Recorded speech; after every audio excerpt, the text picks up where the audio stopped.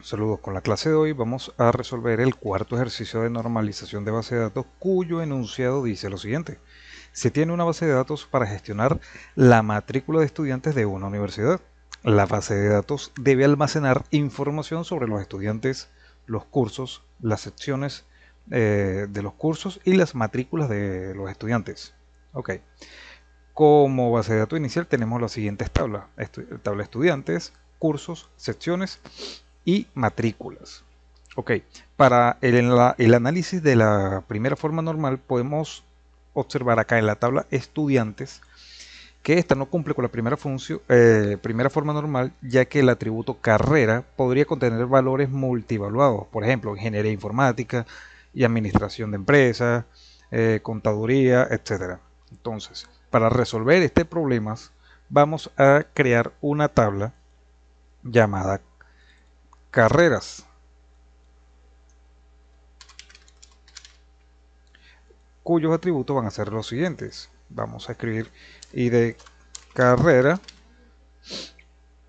como clave primaria, nuevo este atributo y le vamos a colocar nombre carrera.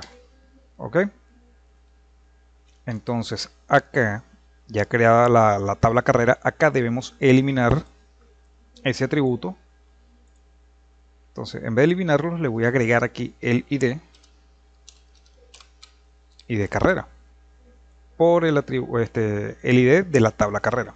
Entonces, acepto y ya con esto ya podríamos decir que eh, la tabla cumple con la primera forma normal porque eh, no hay valores multivaluados y cada atributo tiene un único valor por fila.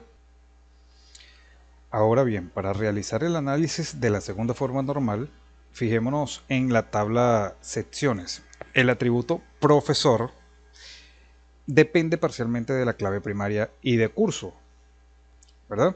Pero no depende completamente de ella. Esto significa que para obtener el nombre del profesor de una sección es necesario primero saber el nombre del curso.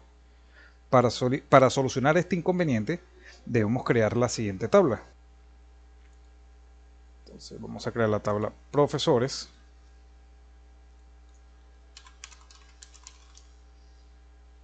Y venimos con el atributo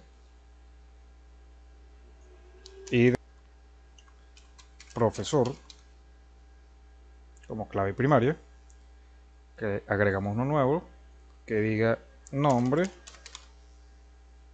y otro que diga apellido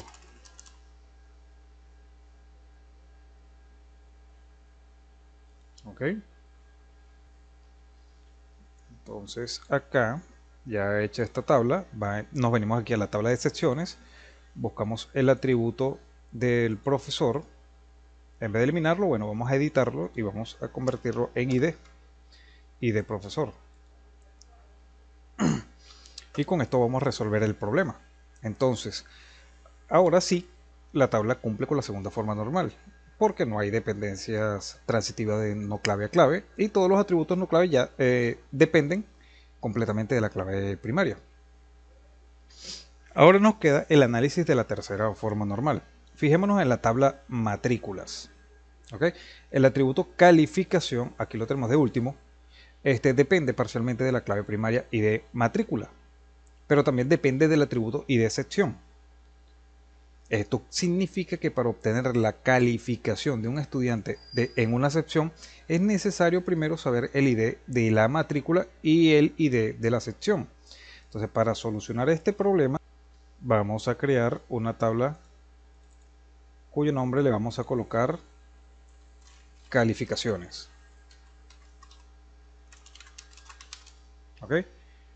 Y cuyos eh, atributos van a ser los siguientes el ID calificación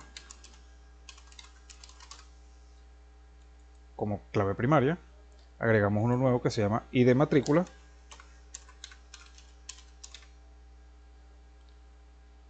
Ahora uno llamado ID sección.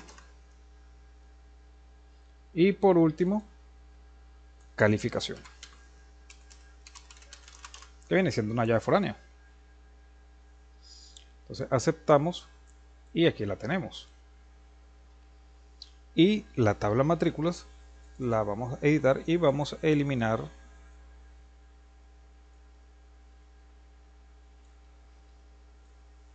el atributo calificación.